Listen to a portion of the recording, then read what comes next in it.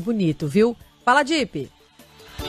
Bom dia a você que nos acompanha aí na Band News FM. Bom dia aos meus amigos aí do estúdio. Hoje o meu assunto é esporte, não poderia ser diferente, porque nós que somos o país do futebol, viemos fazer bonito na terra do Kung Fu.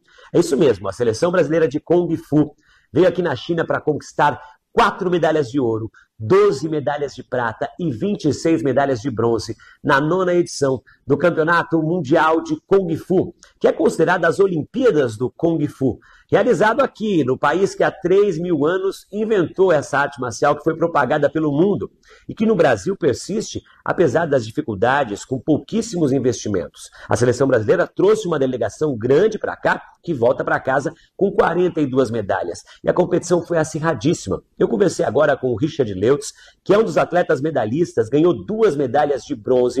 E ele estava me contando que numa das categorias que ele competiu, por exemplo, ele ficou apenas quatro décimos atrás do chinês, que foi campeão para vocês terem uma ideia de como é difícil essa competição. O Richard nasceu em Santos desde 1995 treina em Bauru, que também é minha terra natal, e só na China já conquistou um total de 18 medalhas em toda a sua carreira.